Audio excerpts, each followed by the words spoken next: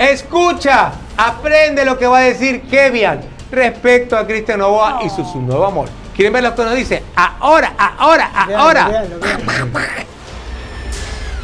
Amiga bella, ¿cómo vas? ¿Qué tal todo? Cuento que estuve, viajé el día jueves. El jueves me fui a Milán, fui a un evento que tuve. Estoy en mi nuevo proyecto y mañana o el miércoles espero que esté listo el contrato para ya firmar el local. Ya me tocó mudarme con todo. Sabes que es difícil para ellos. Nuestro duelo ha sido súper difícil porque fue de un momento a otro y ellos eran como hermanos todos, entonces les ha afectado muchísimo el separarse, todos los días hablan de lo mismo, de los chicos y, y, por qué no regresamos y por qué tal y por qué cual. Les ha afectado muchísimo, igual estamos, los tres estamos en terapia. Estoy súper agotada, pero eso me está ayudando porque así tengo, mantengo mi cabecita ocupada y no pienso en tanta historia y desconectándome del mundo un poco porque dicen una cosa, dicen otra y es, de verdad que es agotador. Y sobre el tema de- que me preguntas de, de mi ex, pues nada, yo, yo créeme que estoy desconectada del tema. Todo se pondrá en su sitio y, y se sabrá lo que se tenga que saber en su momento. Estoy intentando retomar mi vida y la vida de mis hijos porque obviamente es la que a los que más les ha afectado es a ellos más que a mí. Dios mío, los pongo en contexto de este culebrón. Cristian Novoa, bueno, ya acabamos de descubrir a Kevin, su expareja, dice que ya culminó todo tipo de relación con Cristian Novoa. Aparentemente ya llegaron a un acuerdo económico porque ella era la pareja y en su momento, pues al momento de separarse, tenía que recibir pues parte, bueno, al acuerdo que ellos habrán llegado. Ella nos está diciendo de que ahora a Cristian se lo ve siempre muy acompañado de dos chicas, ¿cómo dices tú? Dos chicas que preparadas, ¿no?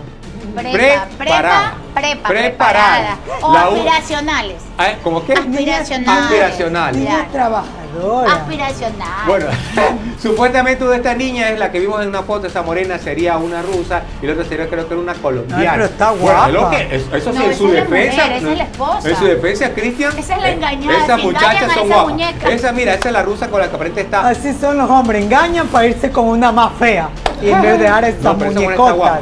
Pero mira lo que dicen, lo que dijo Kevin.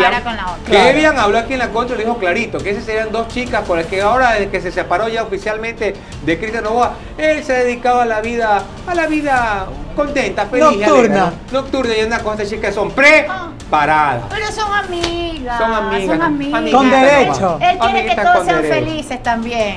Hoy día Ah, sí. están todos, pero así, como que quieren la felicidad para todos.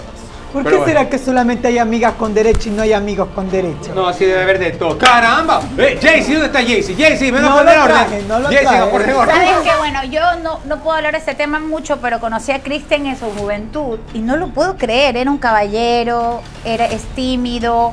O sea que me cuesta creer que se Esos son los convirtió, peores. que se convirtió, no, a veces Tenle también. miedo a esos locos. a Amiga, a lo que pasa es que no miedo. todo el mundo sabe el poder también en lo que es a las personas, el dinero daña, no sabemos, pero Ah, es esta chica, este, su ex esposa se ve una muy, muy, este, muy guapa mujer, pero se ve que estuvo muy enamorada de él, o sea, no sabemos ahí qué ha pasado y prefiero en ese caso no opinar, solo decirle al señor que eh, no se deje tomar fotos, que con la prepa, con las preparadas, es que se quede en un lugar un lugar donde no se vaya a exponer, porque si no se quieren exponer a la vida pública, entonces pues hagan bien las cosas. Y, y él es un chico deportista inteligente que lo puede, lo puede, lo Oye, puede lograr. Yo tengo entendido que el chico le pegaba a la chica, ¿verdad? Sí, Ay, ella, no dijo, sé. ella dijo que había tenido 14 relaciones previas, pero que en la número Ya, 14 pero dijo basta. te digo una cosa, ella, él no tiene la culpa.